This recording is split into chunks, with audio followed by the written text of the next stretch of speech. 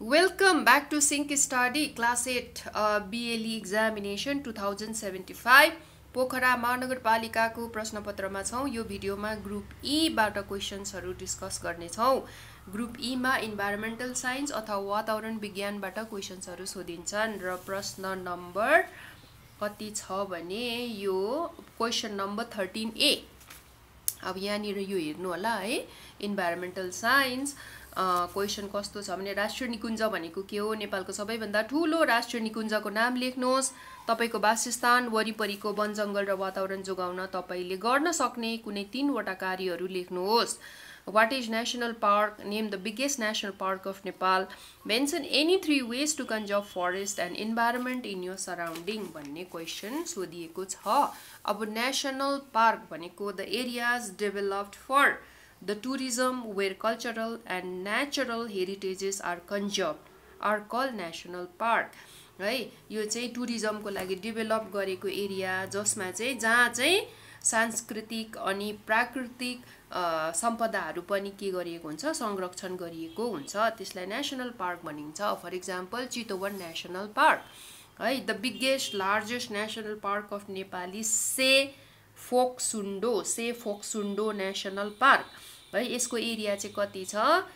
Three thousand five hundred fifty five kilometre square three five five five kilometre square यो चाहिँ largest national park of Nepal ways to conserve forest and environment in my surrounding मेरो सराउन्डिङमा चाहिँ म कसरी environment conserve गर्छु अनि कसरी चाहिँ फरेस्टहरू म कन्जर्भ गर्छु भन्ने क्वेसन छ यहाँनिर है? के छ भने यो भयो proper and strict rules and their इम्प्लिमेन्टे implementation for cutting trees डिफरेस्ट्रेसनको लागि चाहिँ नियम कानुनहरू बनाएर त्यसलाई लागू गर्नु पऱ्यो इम्प्लिमेन्टेसन भनेको लागू पनि गर्नु पऱ्यो इफेक्टिभ तरिकाले है। डिफरेस्ट्रेसन जताततै अलाउ गर्नु भएन। Making people aware about the role of natural resources in sustaining life मानिसहरूमा चाहिँ सचेतता ल्याउनु पर्यो। नेचुरल रिसोर्सले चाहिँ लाइफलाई सपोर्ट गर्नलाई हामीलाई बाँच्नलाई कसरी सहयोग गर्छ भनेर चाहिँ मानिसमा सचेतता ल्याउनु पर्यो। Making people aware about the role of natural resources in sustaining life भनेको सपोर्टिङ लाइफ है। अर्को चाहिँ पल्युसन कन्ट्रोल गर्नु पर्यो। अब सबै soil pollution water pollution air pollution noise pollution हरेक प्रकारको पल्युसन चाहिँ जति जहाँसम्म सम्भव हुन्छ त्यो चाहिँ कन्ट्रोल गर्नु पर्यो। Planting trees and bushes in their surrounding अब चाहिँ यो हरियो चाहिँ भेजिटेसनहरू भयो ट्रिजहरू प्लान्टेसन गर्ने काम चाहिँ जहाँ सम्भव हुन्छ त्यहाँ सबैले आफूले गर्नु पर्यो र चाहिँ ways to conserve forest and environment in my surrounding यी पोइन्टहरू लेख्न सकिन्छ। है? ओके? अब इन्भाइरोमेन्ट कसरी चाहिँ प्रोटेक्ट गर्न सकिन्छ भन्दा यी कुराहरू लेख्न सकिन्छ। अब क्वेसन नम्बर बीमा छ है थर्टिनको बीमा what is meant by endangered species what is meant by endangered species यहाँनिर छ question write the name of any two medicinal plants found in the Himalayan region of Nepal नेपालको हिमालयन रिजनमा पाइ पाइने मेडिसिनल प्लान्ट्सहरूको नाम लेख्नुहोस् भनेको छ है। एन्डेन्जर्ड स्पेसिस एन्डेन्जर्ड स्पेस सङ्कटापन्न वन्य जन्तु भन्नाले के बुझिन्छ। नेपालको हिमाली क्षेत्रमा पाइने कुनै दुई जडीबुटीको नाम लेख्नुहोस् भन्ने क्वेसन छ है। ओके एन्डेन्जर्ड स्पेसिस एक्सटिङ्ट हुन लागेको प्लान्ट्स र एनिमल्सहरूलाई चाहिँ एन्डेन्जर्ड स्पेसिस भनिन्छ. एक्सटिङ्ट हुन लागेको भनेको लोप हुन लागेको हराउन लागेको है। Many plants and animals are lost from our forest होइन हाम्रो बहुमूल्य हाम्रो भ्यालुएबल प्लान्ट्स र एनिमल्सहरू कति हाम्रो लोप भइसकेको छ हराइसकेको छ। अनि many of them are on the verge of extension र कति चाहिँ अब त्यो एक्सटिङ्सन हुने क्रममा छ लोप हुने क्रममा छ है? So this plants and animals are protected and conserve in protected areas अब के गरिएको छ भने यो प्लान्ट र एनिमलहरूलाई चाहिँ एक्सटिङ्ट हुनबाट लोप हुनबाट जोगाउनलाई प्रोटेक्टेड एरियाजहरूमा चाहिँ राखिएको छ है? चाहिँ भन्टिङहरू गर्न पाइँदैन काट्न नाश गर्न डिस्ट्रोय गर्न पाइँदैन है? They are call endangered species the plants and animals which are going to get extinct in the near future are called endangered species भन्दा पनि हुन्छ है। इक्जाम्पल वान हर्न राइनोसेरस भयो नेपालको काँडे भ्याकुर भयो जसलाई चाहिँ स्पाइनी बाब्लस पनि भनिन्छ काँडे भ्याकुर।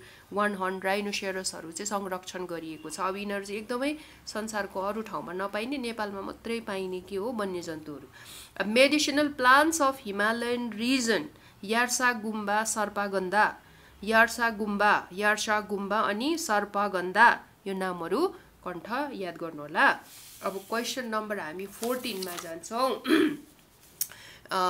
Question number fourteen greenhouse effect भन्ने सोधिएको छ। डिफाइन ग्रिन हाउस इफेक्ट र ग्रिन हाउस इफेक्टको आन्सर हामी यहाँ हेर्छौँ। Greenhouse effect. Green house effect भनेको चाहिँ के हो भनेदेखिलाई sunlight rays of the light चाहिँ के हुन्छ? एटमोस्फियरको ग्यासियस लेयरबाट चाहिँ भित्र आउन सक्छ। है एटमोस्फियरमा जुन चाहिँ ग्रिन हाउस ग्यासेस हुन्छ carbon dioxide sulphur dioxide gas methane gas ozone gas oxides of nitrogen ग्यासहरू हुन्छ नि इन्डस्ट्रीबाट कल कारखानाबाट निस्केको।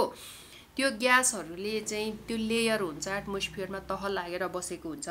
त्यो ग्यासहरूले चाहिँ सनको लाइट रेजलाई चाहिँ भित्रतिर आउन अलाउ गर्छ। त्यतिखेर त्यो लाइट रेजमा चाहिँ धेरै एनर्जी हुन्छ छिर्न सक्छ।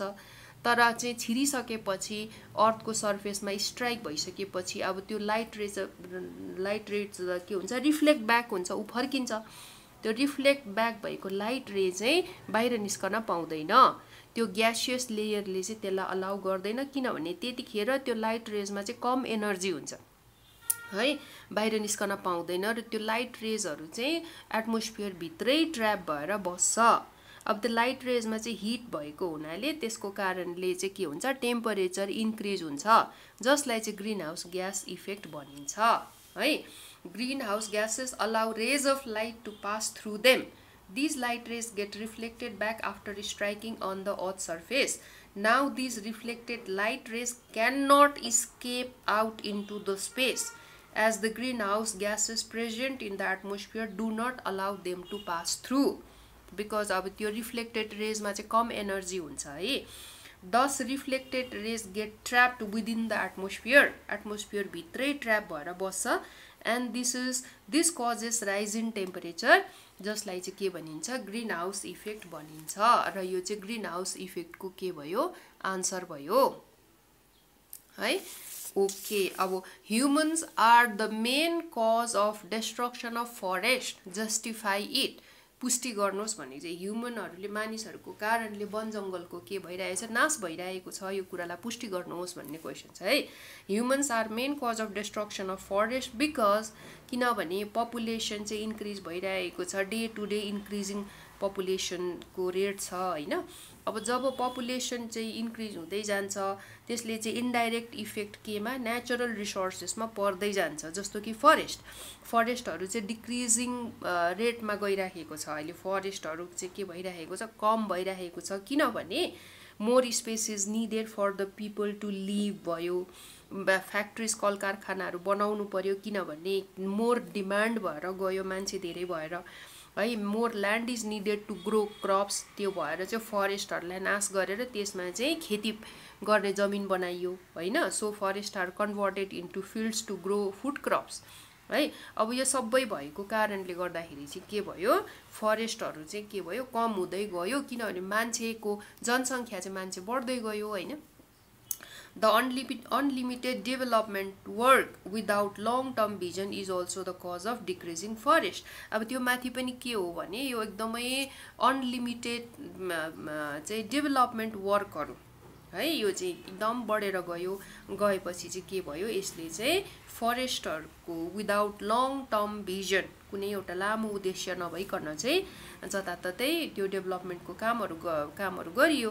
त्यसले पनि के भयो फरेस्ट के भयो डिक्रिज भएर गयो। होइन मान्छेको बसोबासोको लागि खेतीपाती गर्ने जमिनको लागि कल कारखानाको लागि चाहिँ स्पेस चाहियो जग्गा चाहियो अनि के भयो मानिसहरूले वनको फाँडनी गर्यो र त्यो भएर मानिसहरू चाहिँ वन जङ्गलको नाशको लागि चाहिँ के भयो उत्तरदायी छ भन्ने कुरा हो है अब causes of increment of green greenhouse gases भनेर सोधेको छ। ग्रिन हाउस ग्यासेस चाहिँ बढ्दै जानुको कारण लेख्नुहोस् भनेको छ है। More industries are being set up call कारखानाहरू चाहिँ चाहिँ सेटअप भइराखेको छ त्यहाँनिर होइन स्थापना भएछ। The technological development is unlimited अब टेक्नोलोजीहरू चाहिँ एकदमै अहिले चाहिँ अनलिमिटेड रूपमा बढेर गइरहेको छ। अनि यो जति पनि कल कारखानाहरू बढ्दै जान्छ भेहिकलहरू जस्तै भयो होइन तिनीहरू चाहिँ सबैले के गर्छ भने ग्रिन हाउस ग्यासेस इमिट गर्छ ग्रिन हाउस ग्यासेस रिलिज गर्छ वातावरणमा जस्तो कि carbon dioxide sulphur dioxide nitrogen dioxide होइन नाइट्रोजन ट्राइअक्साइड नाइट्रोजन अक्साइड्सहरू मिथेन ओजोन यस्तो ग्यासेसहरू चाहिँ वातावरणमा के हुन्छ? रिलिज हुन्छ। Forest and greenery are decreasing फेरि अन द अदर ह्यान्ड चाहिँ के भइरहेको छ भने डिफरेस्ट्रेसन भइराखेको छ। होइन ग्रिनेरी भेजिटेसनहरू घट्दै गइरहेको छ। अब यो सबैले चाहिँ के गरिराखेको छ? ग्रिन हाउस ग्यासेस वातावरणमा बढ्दै गइरहेको छ। र यो भयो आन्सर नम्बर फोर्टिन बी अब हामी के गरौँ भने answer number question number fifteen एमा जाउँ बायोडाइभर्सिटी सोधिएको छ। Question number fifteen A biodiversity यसरी सोधिएको छ।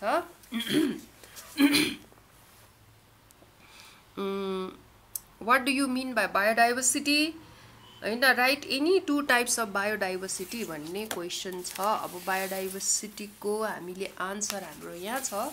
Biodiversity different types of plants and animals are found in different regions. है it is called biodiversity or हाम्रो अझै अब यो टेक्निकल डेफिनेसन दिनु पऱ्यो भने चाहिँ totality of number type and variation of organisms and their ecosystem is called biodiversity है totality of number total number of organism different types of organism differences in organism होइन? एन्ड दियर इकोसिस्टम भनेको in their habitat बस्ने ठाउँमा चाहिँ त्यसलाई त्यसलाई चाहिँ के भनिन्छ? बायोडाइभर्सिटी भनिन्छ। Or different types of plants and animals found in different regions is called biodiversity अब टाइप्स अफ बायोडाइभर्सिटी इकोलोजिकल अथवा इकोसिस्टम बायोडाइभर्सिटी भयो ट्याक्सोनोमिकल स्पिसिस बायोडाइभर्सिटी भयो मोर्फोलोजिकल अथवा जेनेटिक बायोडाइभर्सिटी भयो। These are the types of biodiversity okay अब अर्को question छ humans are the main cause of okay question number fifteen B importance of sustainable development सोधिएको छ importance of sustainable डेभलपमेन्टको चाहिँ के गर्नुहोस् भने दिगो विकासको कुनै चारवटा महत्त्वहरूको सूची तयार गर्नुहोस् र एकको व्याख्या गर्नुहोस् भन्ने क्वेसन छ है। List any four importance of sustainable development and explain any one of them भन्ने क्वेसन छ है। अब बा सस्टेनेबल डेभलपमेन्टको इम्पोर्टेन्स है appropriate use of resources appropriate भनेको प्रपर सठिक है युज अफ रिसोर्सेस त्यसपछि sense of responsibility among people यो भयो। त्यसपछि पार्टिसिपेटरी डेभलपमेन्ट सहभागिता गर्नु पर्यो प्र विकासको कार्यमा। पार्टिसिपेटरी डेभलपमेन्ट अनि लङ टर्म भिजन यो चाहिँ के भयो? सस्टेनेबल डेभलपमेन्टको एडभान्टेजहरू सिग्निफिकेन्सहरू अब कुनै एउटाको व्याख्या गर्नुहोस् भनिएको छ है। Appropriate use of resources natural resources will not last longer if we use them mindlessly natural resources भन्ने त हामीले जताततै हामीले प्रयोग गऱ्यौँ भने त त्यो त सधैँभरिको लागि हामीलाई पुग्दैन हुँदैन. Sustainable development teaches us to develop technologies which can be use to multiply the benefit from natural resources र सस्टेनेबल डेभलपमेन्टले चाहिँ के भन्छ भने हामीले टेक्नोलोजीहरू प्रयोग गरेर चाहिँ नेचुरल रिसोर्सेसहरू थोरै मात्रामा प्रयोग गरेर त्यसको धेरै फाइदा लिनुपर्छ। होइन? त्यसको लागि मोडर्न टेक्नोलोजीमा हामी भर पर्नुपर्छ भन्ने कुरा छ है? It focuses on using limited natural resources to gain more advantage होइन गे थोरै प्रयोग गरेर त्यसको धेरै फाइदा लिनु भन्ने कुरामा फोकस गर्छ। Example use of modern technologies in the fields भयो युज अफ अर्ग्यानिक मेन्युर भयो यो कुराहरूमा चाहिँ जोड दिनुपर्छ। सो द्याट हामीले चाहिँ आफ्नो वातावरणलाई के गर्न सक्छौँ? संरक्षण गर्न सक्छौँ कन्जर्भ गर्न सक्छौँ। है अब अरू चाहिँ एप्रोप्रिएट युज अफ रिसोर्सेस भयो यो अब अर्को चाहिँ sense of responsibility participatory development long term vision with this we complete this discussion